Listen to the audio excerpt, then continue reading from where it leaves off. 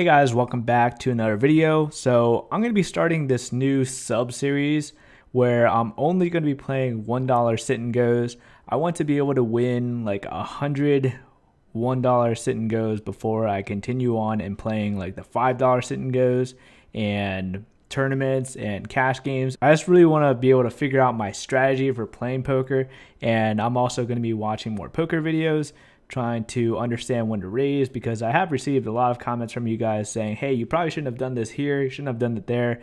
And rather than risking more money on $5 tables when I'm not 100% certain where I should be raising, how much I should be raising, I figured I could just play a bunch of $1 sit and goes just to get better. Let's get started. So, first place wins $3.55, second place wins $1.91. So, as long as I even get second place, I could just continue on without losing any money. But if I win a hundred of these, I'd make a decent amount of money, assuming I'm not losing more than I'm winning. So let's get started. And I'm also going to be taking time to actually think about what I'm doing a little bit more and figure out why I'm raising, why I'm checking, and everything like that. All right, so eight and three, I have the chance to just call it for just 20.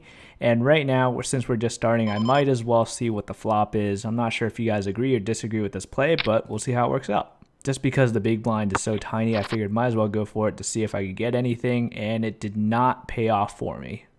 As soon as anyone raises, I'll be out, but it's good to actually play a couple of these hands uh, just to make sure they're not under the impression that, okay, I'm only playing when I actually have something.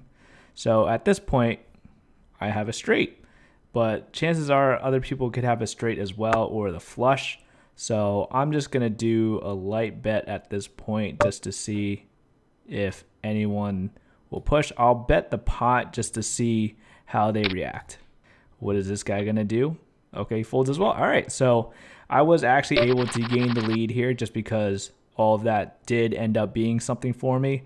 And I don't feel comfortable playing this hand just because it's not a very good hand, in addition to me being the first person to decide what is going to happen, so I'm going to fold. Okay, so that was a good call. It would not have paid off for me. And these people are raising, so I would have been out anyways. And there's trip aces out here. All right, a four and a six, even though my big blind is already out, I'll check, assuming, oh, this guy raised, so I will fold. Just due to the fact that my best hand I could get from this is a pair, which is very low, two pairs, or a potential straight, which is relatively low. Okay, at this point, I could potentially chase the flush. I already have half of the blind in, and all I have to do is call 10, and I'm willing to do if no one else raises, just to see if I get the flush out the flop. And let's go for it, see why not. All right, so immediately I have a pair of jacks. So I'm just going to do a light bet, see if I can get this person out. If he bets, that also works out because I have the highest potential pair at the moment. This person bets 100. So my guess is they... I don't feel confident enough just going by with just a pair of jacks. So in this situation, I will fold. Again, that could be a bad play, but I wasn't really losing a lot in that pot, so not a lot of value lost for me. This person's raising. I have jack nines. Not going to play this. Okay, so jack and an ace. I'll totally play this just to see what I could get off the flop. Assuming no one does some outrageous raises, and even then I'll still play a little bit. Okay, nothing off of the flop. Highest potential pair would be the pair of kings at the moment. And looks like a potential flush starting for the spades. All right, he bet 20. So at this point, I'm still willing to bet just to see what I could get off of the next card here unless someone does something crazy and wild and bets a large amount, then I'll be out. Again, I could be making mistakes. Let me know if I'm doing this properly, but again, everyone plays a little bit different. Everyone has their own range of what they're willing to work with, but since it's only 20, why not? And I'm currently third place out of six, so not doing horrible at the moment. And have to experiment a little bit just to see if we get this pot of probably about going to be 200 here after this guy checks or folds, whatever he's going to do. All right, so I have a chance for a potential flush, high flush, assuming that I could actually get my ace here. So do I want to play against that at this point since it's still early on? I'm willing to take the chance and get the ace high with the flush, so I'll call. And I'm just hoping that this person doesn't bet as well because that'd be pretty wild. Okay. All right, so that did not pay off for me, so that was a huge mistake. However, I'm still not losing that much value in this um, just because I'm only down, what, like 150 in chips from my starting point. So I'm going to fold. And this person had the flush like we thought. Um, but I was holding out for another spade. Okay, so I could chase the flush here. This person immediately raised, which leads me to believe they have something, but I'm not really comfortable chasing the flush with just the jack and a two because even if I get a pair of jacks, that's something that I wouldn't really continue on with. Jack and a six, since I'm already in, might as well check to see what comes off the flop. Pair of jacks and a pair of sixes. So I have a two pair at this point. This person's betting. Um, so I'm just going to let him think that he has the best hand and I'm just going to call.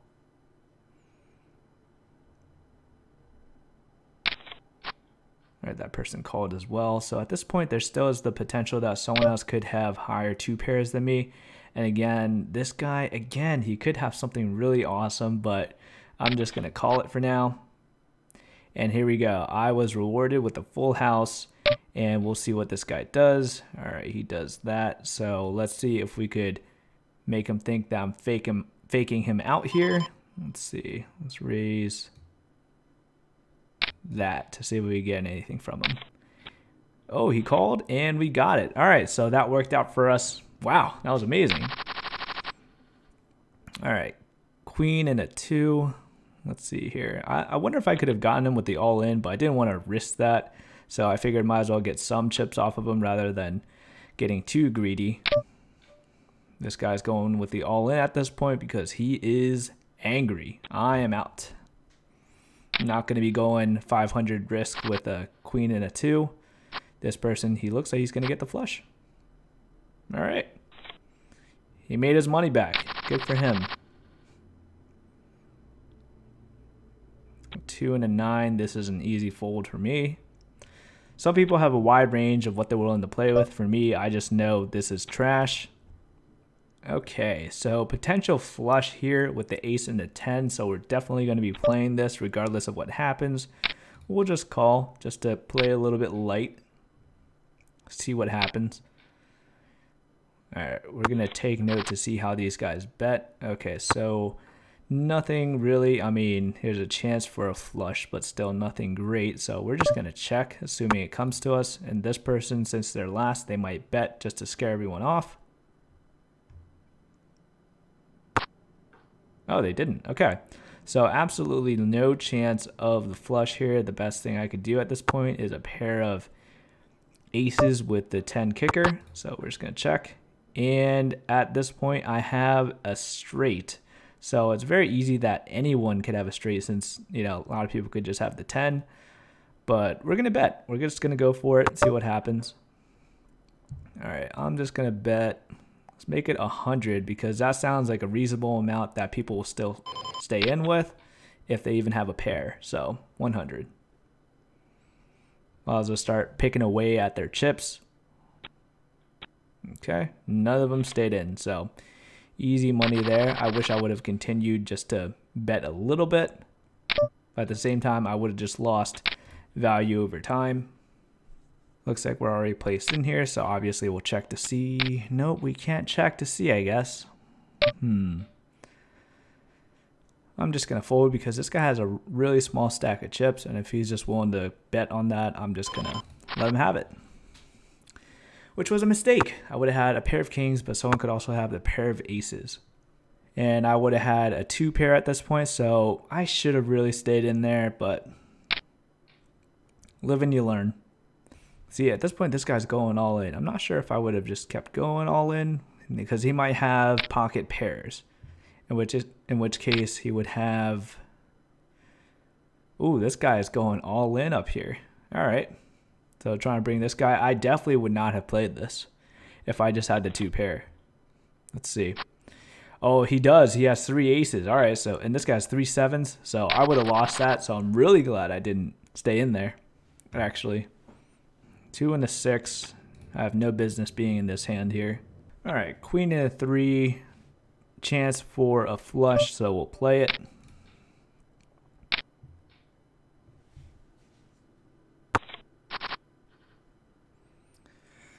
Okay, so queen, let's see here. Still a chance for a flush, but not as a good chance. And at this point, just a pair of twos, so not much going on here. The best I could do at the end of the day is a pair of queens. All right, so we're gonna be out of this one. All right, again, potential flush with the king high, so we're gonna play it. All right, since we already have 100 in, why not just call it just to see what happens? And again, we're not going to get anywhere close to the flush. Even the straight potential is ruined there, so we're going to be out of this one. And I feel like you just have to see if you can get the flush. I feel like that's a very logical play, so I don't regret either of those two hands. I just did not end up getting lucky. Queen to 10, potential chance for a high straight. So we'll play it. Okay, could be me up against this guy. And okay, I thought he was going to go all in there for a second. All right, we'll check. Okay, let's see if he does anything wild here. I'm going to bet 100 just to see if I could get him off since I do have the pair of jacks. All right, he does fold immediately after that, so Seven and a three, not the ideal hand that you want to start with. Okay, so this guy's betting. I'm not going to call on that just because I'm not setting myself up for really anything other than a pair of sevens. And this guy just went all in, so...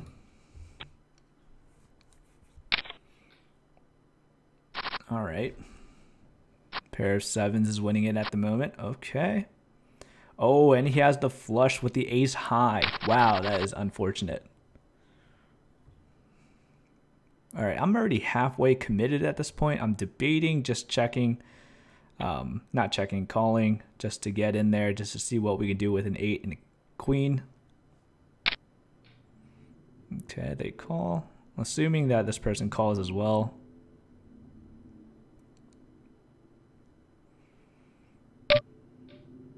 They raise. So at this point, I would be out.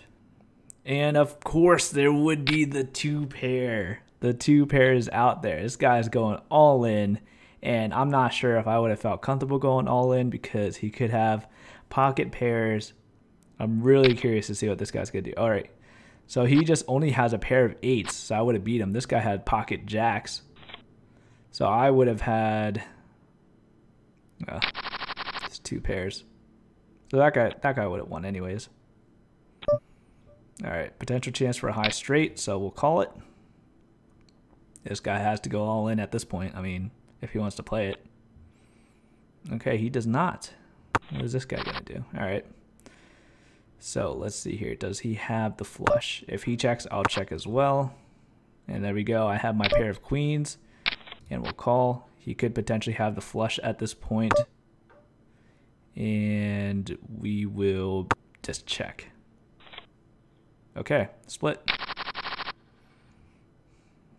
All right, potential chance for a flush, but these are such low numbers that I'm not going to chase it. All right, pair of kings, pocket kings, good on him. And wow, no way, he just lost with oh, the straight. That is unfortunate.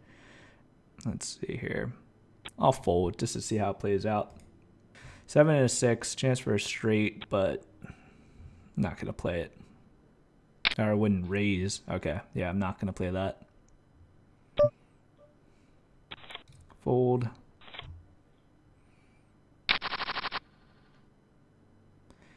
Potential chance for a flush with a queen high.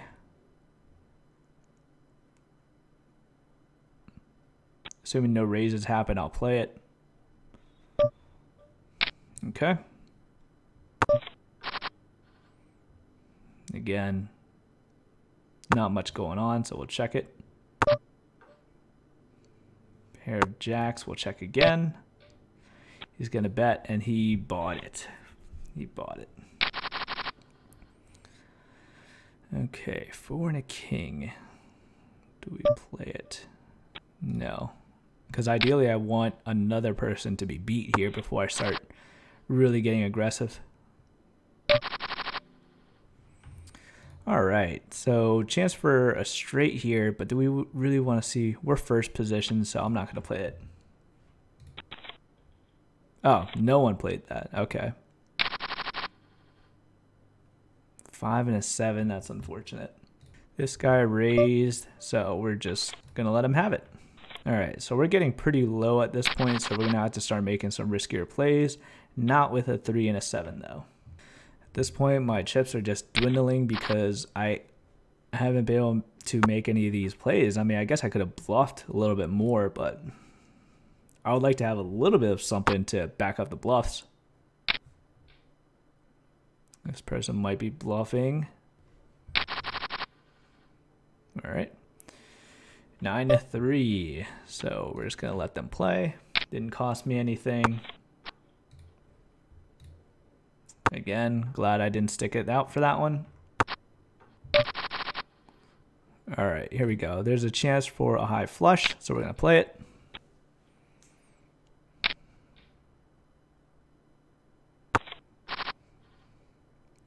It's not paid out for me. Let's see what this guy does. We'll check as well. And he's still checking. I am feeling that this guy might actually have something. I feel like they're both trying to trap me here. Alright, again, I have absolutely nothing other than what's on the board here, so... Chance someone could have the full house. Alright, so let's see. Okay, I was actually able to win that. Okay, two and a jack. We already have invested 200, so I feel like we have to play it just to see what we could get. 600 though, 600.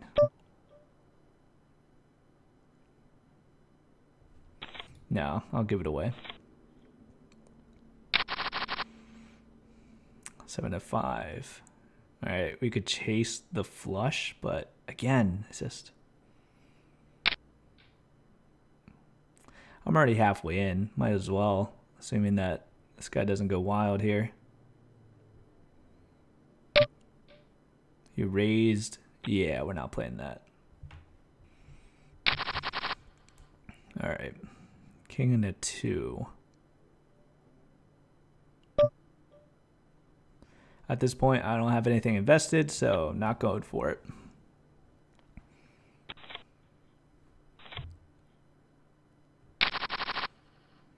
All right, 9K. All right. So we'll definitely play this regardless of what happens. Don't do it. Okay, so we'll check. We have a pair of nines. So I'm just going to bet a little bit at this point just to get a little bit more aggressive. Let's bet 400. See what this guy decides to do. If he goes all in, then I'll most likely call as well, just because I do have the pair of nines, unless he has pocket pairs that I'm unaware about.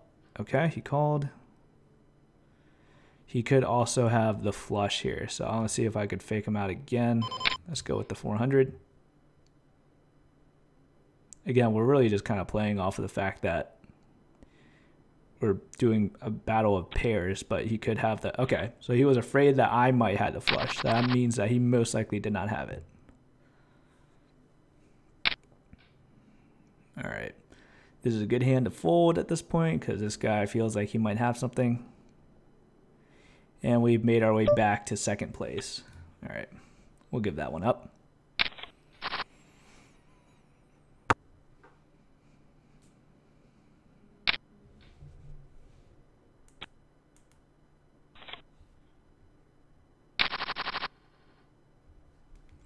Queen to five. I have nothing invested here, so at this point, I'm just kind of hoping to take each other out that raise, I'll be out.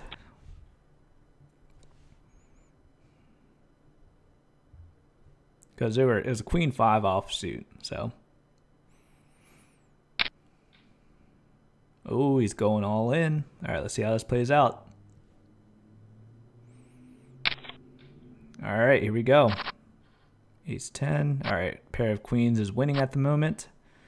And he took it. Good for him.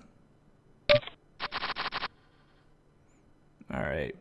8-3. When we have no business playing that with the type of hands everyone is keeping at the moment. So, all right, here we go. Another battle off. And this guy again has the pair of... Oh, he's got the ace this time. All right. So this guy wins his money back. All right. On suited to 8 and 3. I'll play it assuming everyone checks. What are you going to do?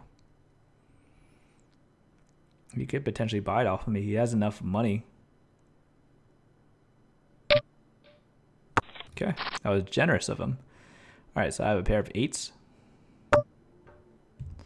Let's see what happens if he sees a bet of 200 from me. He could potentially have the flush. Oh, he doesn't. All right.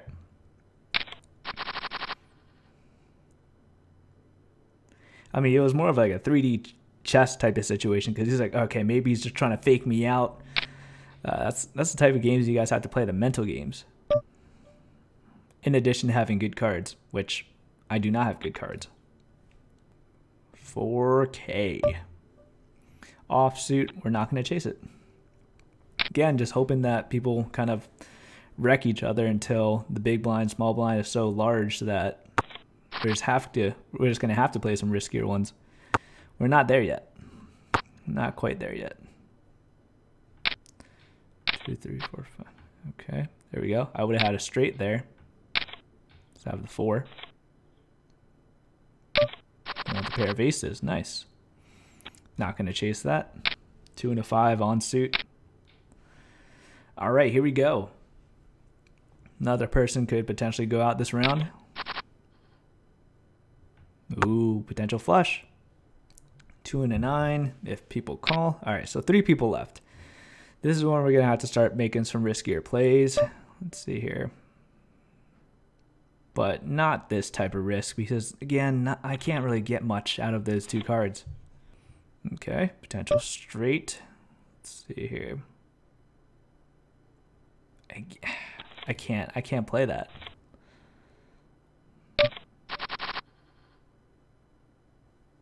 We'll let these two fight it out. See if I get at least second place.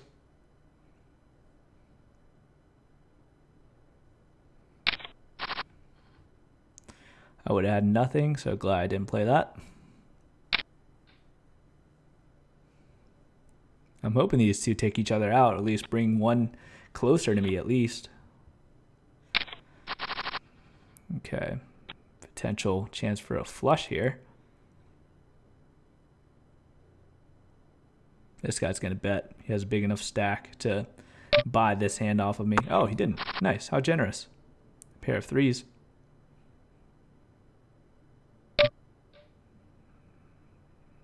Let's see here. I can make him think that I have something. Sure. Let's see what he does now. Again, oh, dang it. What could he have? Jacks. All right, we'll call it there. Leet. All right, five and a seven.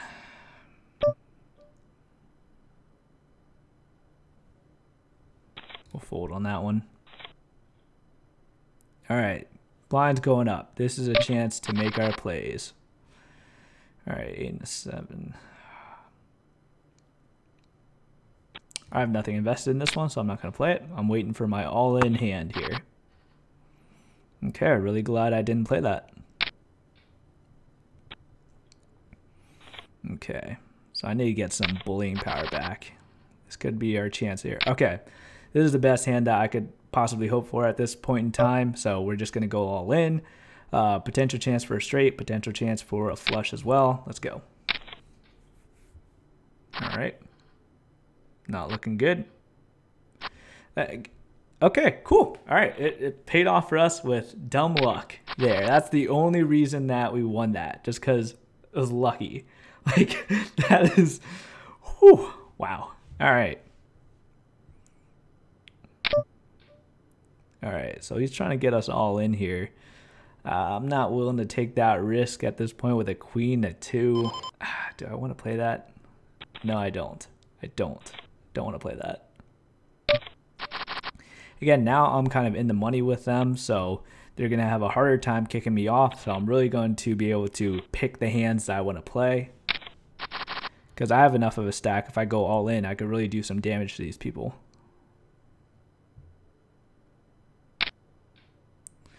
Again. Yeah, wow. No, I'm not playing all in with a 9 and a 4 offsuit. Okay. 6 and a 10.